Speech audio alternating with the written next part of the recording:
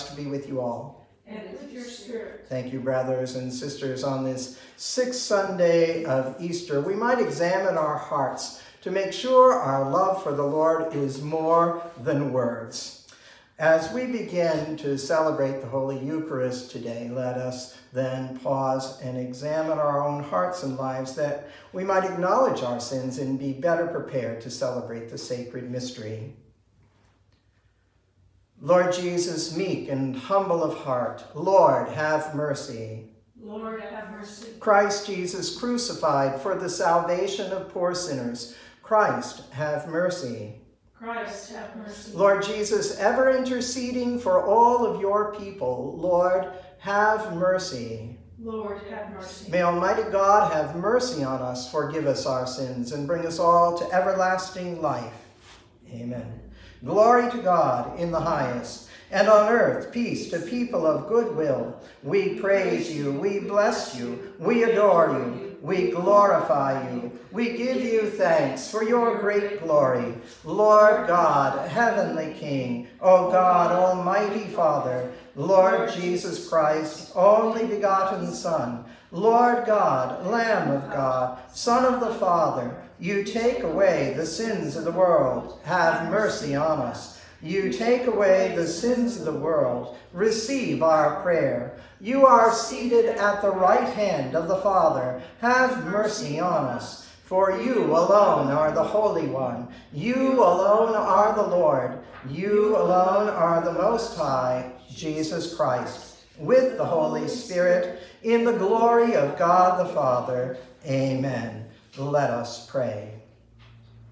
Grant, Almighty God, that we may celebrate with heartfelt devotion these days of holy joy, which we keep in honor of the risen Lord, and that what we relive in remembrance here, we may always hold to in everything we do.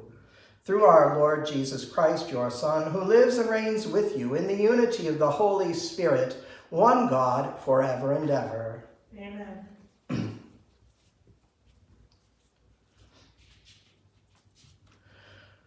A reading from the Acts of the Apostles. Philip went down to the city of Samaria and proclaimed the Christ to them.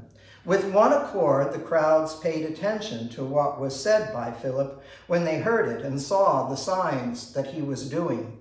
For unclean spirits, crying out in a loud voice, came out of many possessed people, and many paralyzed or crippled people were cured. There was great joy in that city. Now, when the apostles in Jerusalem heard that Samaria had accepted the word of God, they sent them Peter and John, who went down and prayed for them, that they might receive the Holy Spirit for it had not yet fallen upon any of them. They only had been baptized in the name of the Lord Jesus. Then they laid hands on them, and they received the Holy Spirit. The word of the Lord. Thanks, Thanks be to God. Let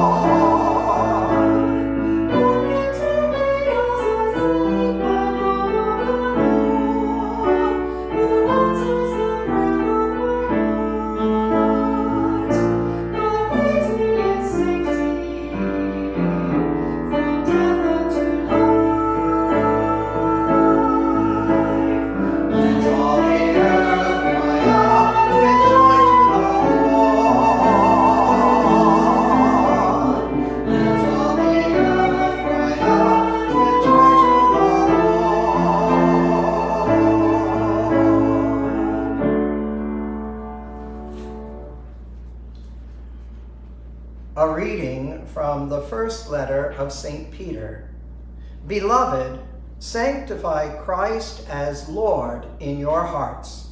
Always be ready to give an explanation to anyone who asks you for a reason for your hope, but do it with gentleness and reverence, keeping your conscience clear, so that when you are maligned, those who defame your good conduct in Christ may themselves be put to shame. For it is better to suffer for doing good, if that be the will of God, than for doing evil. For Christ also suffered for sins once, the righteous for the sake of the unrighteous, that he might lead you to God.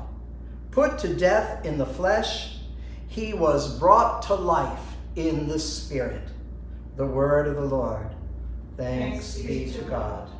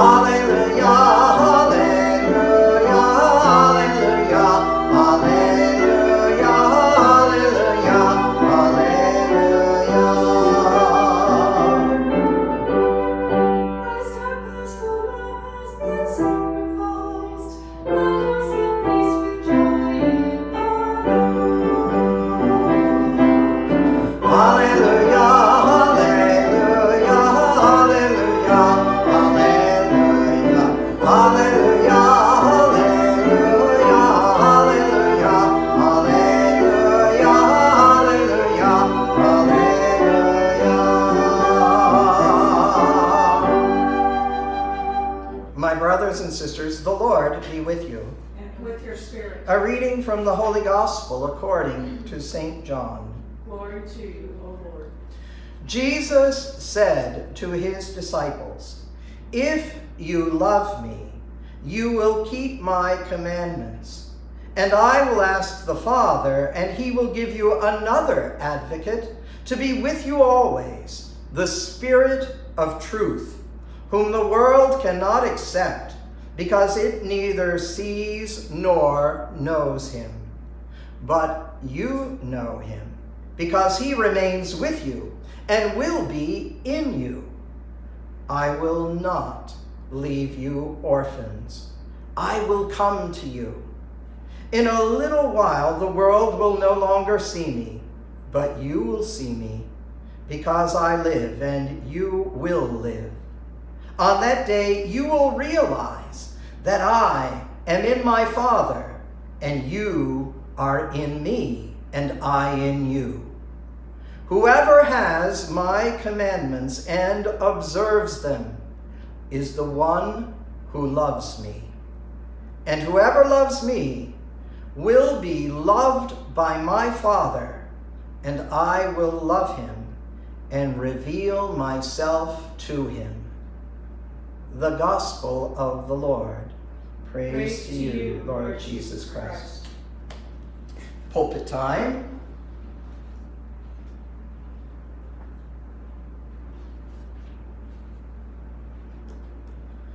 Okay, we have a new pulpit here. A Catholic high school class was one day asked to sign a statement that no one had actually helped them with the answers on a take home test that they were given. Well, the class clown raised his hand saying, I can't sign that in good conscience. I asked God to help me. Well, his teacher looked at his test and said, John, you can sign this with a clear conscience because I assure you, God did not help you. It has been said that a clear conscience is only a sign of a bad memory. If we are honest with ourselves, we all have dark spots and foggy areas where our conscience is not quite clear. Now, no one is saved, no one gets to heaven because of all their good works or because they kept their conscience perfectly clean in life. Because salvation is all by grace and by the mercy and love and gift of God. But our part in this plan of salvation is not then to live perfect lives, to perfectly keep all of the works of the law. But our part in the plan of salvation is just to really love the Lord.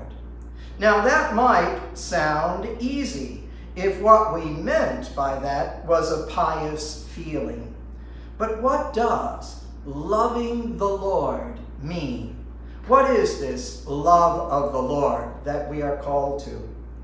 In the gospel, Jesus explained, Whoever has my commandments and observes them is the one who loves me. That line about keeping your conscience clear is taken from the first letter of St. Peter. Maybe we can learn from St. Peter's own example and from his tarnished conscience. For Peter did not keep his conscience perfectly clear. Three times we know he denied the Lord when Jesus needed him most. Three dark spots at least were there on Peter's conscience. But later on, after that betrayal, later on, after the resurrection, Jesus asked Peter three times then, Do you love me? Peter, do you love me? Yes, Lord, Peter says, You know that I love you. And Jesus responded to him, Feed my sheep, tend my lambs. Jesus already knows, as he did with Peter, that our conscience is not perfectly clear. And it is not really then a perfect life that he expects or wants from us. He knows better than that. What Jesus wants and hopes for, for us and from us, is not then a perfect life, but perfect love, to grow in love. If we have begun to respond as Peter did, Lord, you know that I love you. If we have begun to respond as Peter did, then Jesus has just one more thing to ask of us. If you love me, feed my sheep, tend my lands. Turn your love for me into action. We began this video with that song, More Than Words. It was a 1990s song from the rock group Extreme. The lyrics go, saying I love you are not the words I want to hear from you. It's not that I want you not to say it. What would you do if I took those words from you? More than words, to show you feel that your love for me is real. Friends, let us all find a way more than words. Jesus asks each and every one of us, Do you love me? Then show me with more than words.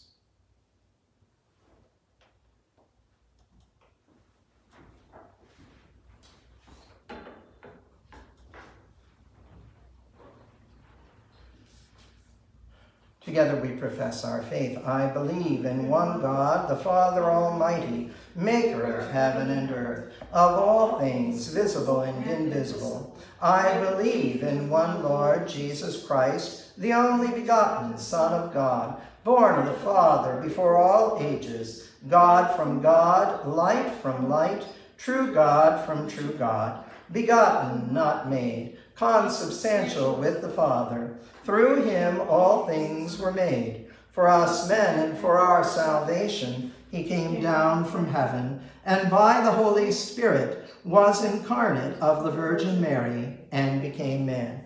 For our sake, he was crucified under Pontius Pilate. He suffered death and was buried, and rose again on the third day, in accordance with the Scriptures. He ascended into heaven and is seated at the right hand of the Father. He will come again in glory to judge the living and the dead, and his kingdom will have no end. I believe in the Holy Spirit, the Lord, the giver of life, who proceeds from the Father and the Son, who with the Father and the Son is adored and glorified, who has spoken through the prophets. I believe in one holy, Catholic, and Apostolic Church. I confess one baptism for the forgiveness of sins, and I look forward to the resurrection of the dead and the life of the world to come. Amen. With faith and confidence, then, in the mercy and the love of God, we come before Him with our prayers and our petitions. We pray for our Holy Father and our Bishop Mark, and for all the bishops throughout the Universal Church, that they may lead with wisdom and prudence, we pray to the Lord. Lord, hear our prayer. Lord, you came to dwell among us in human flesh through the Virgin Mary. Teach us to love all of humanity in you, we pray to the Lord. Lord, hear our prayer. And Lord, you died to draw into one the people of every place and time. Teach us to respect people of every age, of every race, and of every nation. We pray to the Lord. Lord, hear our prayer. And you arose to rule in fairness over all peoples. Teach us to pursue justice and peace and healing among all nations. We pray to the Lord. Lord, hear our prayer. and especially for those who might be suffering in any way from this coronavirus, we pray to the Lord. Lord, hear our prayer. Gracious Father in heaven, hear the prayers and petitions of your faithful, and in your loving mercy, answer them through Christ our Lord. Amen. Amen.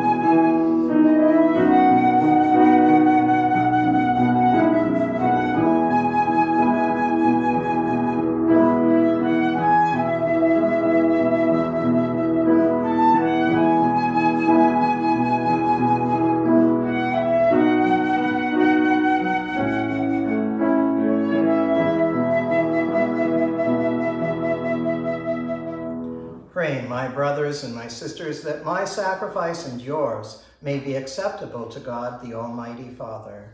May the Lord accept this sacrifice at your hands for the praise and glory of his name, for our good and the good of all his holy church. May our prayers rise up to you, O Lord, together with these sacrificial offerings, so that purified by your graciousness, we may be conformed to the very mysteries of your mighty love, through Christ our Lord. Amen. The Lord be with you. And with your spirit, Lift up your hearts. we lift them up to the Lord. Let us give thanks to the Lord our God.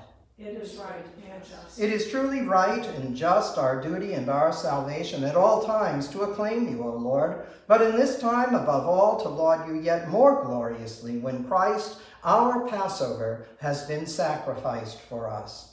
Through him the children of light rise to eternal life, and the halls of the heavenly kingdom are thrown open to all the faithful. For his death is our ransom from death, and in his rising the life of all has risen. Therefore, overcome with paschal joy, every land, every people exults in your praise, and even the heavenly powers with the angelic hosts sing together the unending hymn of your glory as they acclaim.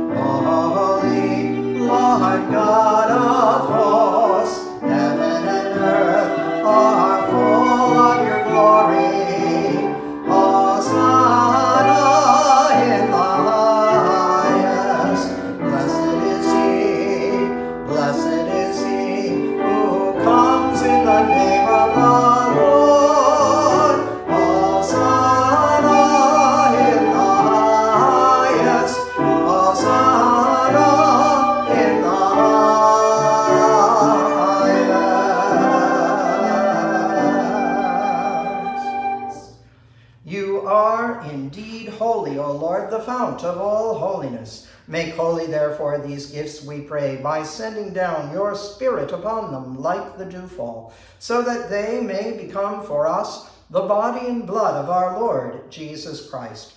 At the time he was betrayed and entered willingly into his passion, he took bread and giving thanks, broke it and gave it to his disciples, saying, Take this, all of you, and eat of it, for this is my body, which will be given up for you.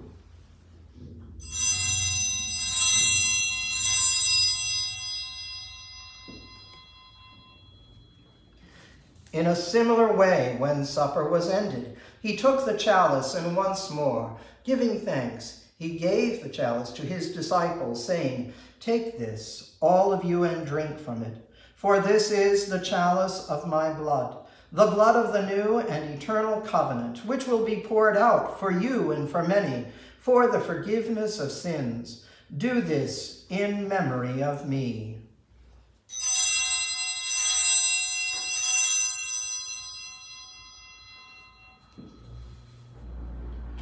The mystery of faith. When we eat this bread and drink this cup, we proclaim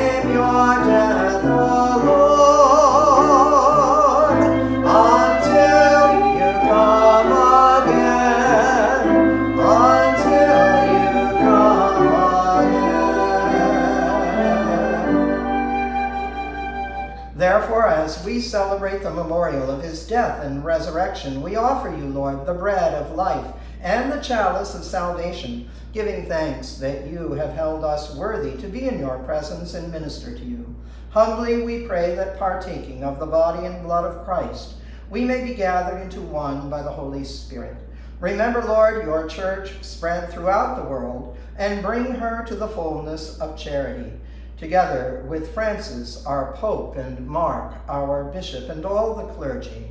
Remember also our brothers and sisters who have fallen asleep in the hope of the resurrection, and all who have died in your mercy. Welcome them into the light of your face. Have mercy on us all, we pray, that with the Blessed Virgin Mary, Mother of God and our Mother, Saint Joseph, her spouse, with the blessed apostles and all the saints who have pleased you throughout the ages, we may merit to be co-heirs to eternal life, and may praise and glorify you through your Son, Jesus Christ. Through him and with him and in him, O God, Almighty Father, in the unity of the Holy Spirit, all glory and honor is yours forever and ever.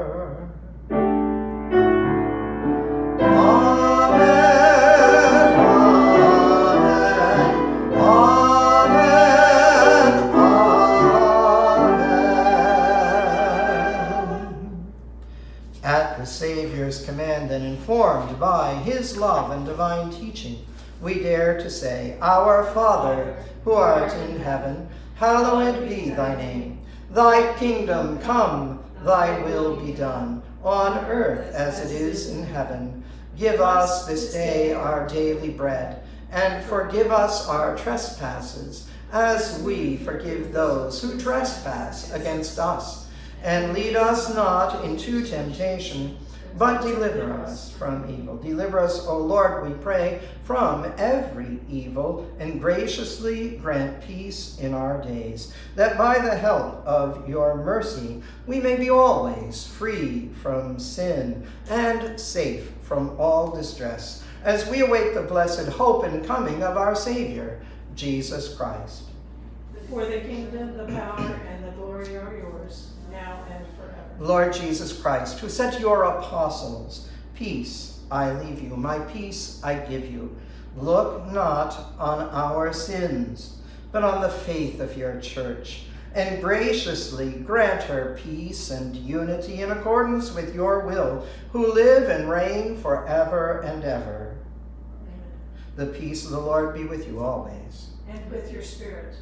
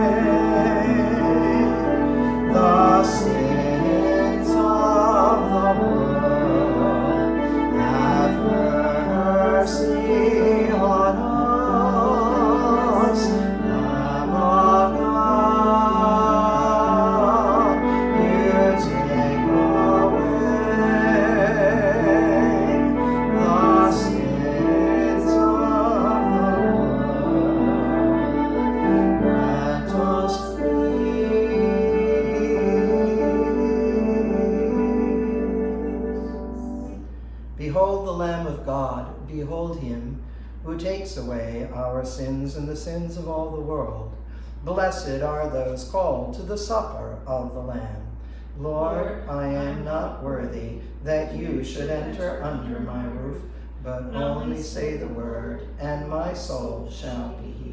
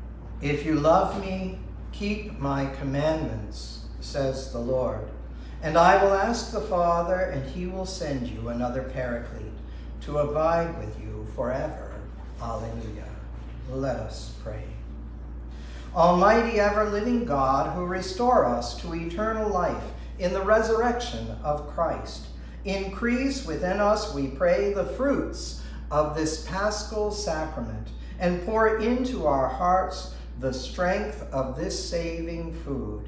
We ask this through Christ our Lord. Amen. Amen. Just by way of announcements, we hope that this will be the last videoing from my dining room. Uh, next weekend, we hope to have the church reopened for uh, a limited attendance. This week, uh, we will be mailing out to all of our registered parishioners a letter, front and back, that tells you some of the details of what will be happening and how we'll be coming to Mass for the foreseeable future. Please note that it says that one of the things you can do uh, more than words to show your love for everybody and the Lord is that if you are one of those at risk people because of health or age, then it is wise for you to stay home, especially as we begin. It will be a learning curve for all of us uh, about celebrating Mass with what amounts to really about 20 to 25 percent of the capacity in the churches that we have had up till now. So you can expect to see that letter uh, in the mail this week, and we'll hopefully get it posted also on our website as well. You can also see in the website the pastor's pondering in our bulletin for the week. We have submitted to the diocese as all of the parishes have had to do a, a parish uh, and mission reopening plan. So uh, our parish nurses have been absolutely wonderful, and I want to thank particularly Veronica Gallo, Teresa White, uh, and others who have been assisting along the way uh, in implementing this plan and getting volunteers to come forward because ushers will have to usher a new way. We'll have a new way of going to communion. You won't be able to sit where you always sat when you do come, uh, if you do come. But please uh, remember that the dispensation from the obligation to attend Mass continues uh, until further notice. And uh, if you are an at-risk person at all or just nervous about coming, please feel free to stay home and watch our masses online or on TV from the cathedral or EWTN or others. So uh, let's all keep one another in prayer as we enter into this new phase of recovery, we hope, from this uh, virus, and continue to pray that we find a vaccine or treatments that uh, really help people. The Lord be with you. And with your spirit. May Almighty God bless you, the Father, and the Son, and the Holy Spirit. Amen. Go forth, the Mass is ended. Thanks be to God.